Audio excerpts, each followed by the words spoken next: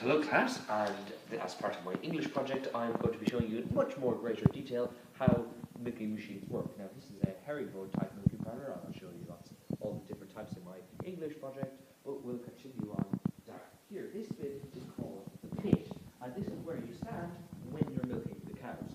So what happens is the cows will come up, down here, and there's 10 on each side, okay? And the cows will go in there and they'd stick their head, and they'd stick their head in here, and then nuts would fall from down here out of this place here. And I'll show you what nuts are out in a minute. Um, but when you're down here, the cows are coming here, and its udder would be here. So you take this, this is called a pincher, and you put it on, and you put it on bit by bit. And this bit here, the cow's teat goes in there, and inside it pulses under suction, which brings the milk out of the udder into the milking parlour. And the pulse is provided by this thing here, which is called a pulsator. And this is this is one of the three super important things in the milking parlour. It is this pulsator, this cluster, and a vacuum pump, which is out the back. And so the pulse, which is provided by this pulsator, um, will go down through and will come in there through this pipe here. And then this pipe here brings the milk out, comes out to here, and then comes up around, and then into this metal pipe. Uh, this metal pipe runs all the way down to the back, and the milk would bring it all in, and then it goes into this jar here.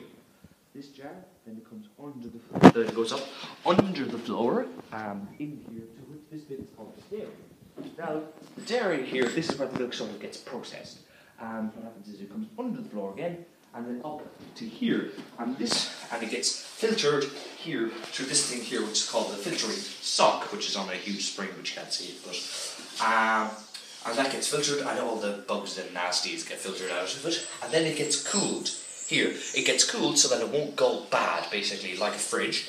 Um, so if you're milking, this side of it's all warm because the milk is warm, it's just come out of the cow, and this side is freezing because it, the, the milk gets chilled down to about 4 degrees, and then it goes up, round about through this pipe, and then it comes out at this end of the pipe, but this end of the pipe is normally up in the top of the tank there, and this is the milk tank, a bulk tank, and this holds the milk for usually two days until the milk truck, truck comes and picks up milk out of it and brings it off to the dairy to be processed even further, like into butter or cheese or into cartons to make your milk.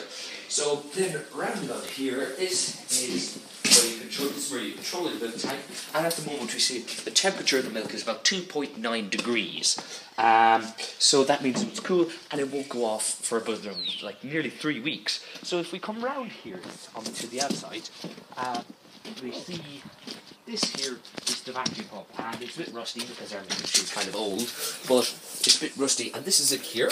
It gets powered by this electric motor here, through that, and this provides a vacuum to suck the milk out of the cows. And it goes, vacuum comes in through that pump, and then goes out into the rest of the thing. And the nuts, which the cows are fed from, get stored in this huge bin here, okay?